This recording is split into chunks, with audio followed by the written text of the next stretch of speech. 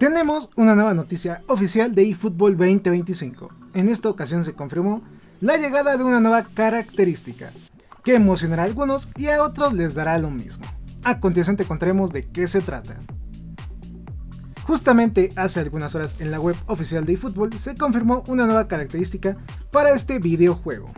Mediante un ligero comunicado se informó que con la llegada de la actualización 4.0, que trae consigo la nueva edición de eFootball, al ejecutar la acción de restablecer los puntos de progresión no tendrá ningún costo.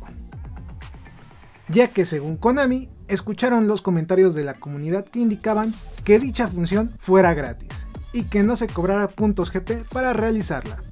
También a partir de hoy, cuando se suba este video, estará disponible una campaña para restablecer los puntos de progresión sin costo.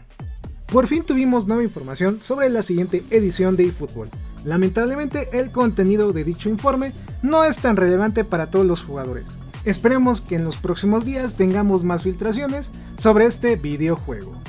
Suscríbete al canal para ver más noticias. Descarga nuestra aplicación eFootball News, disponible en Google Play.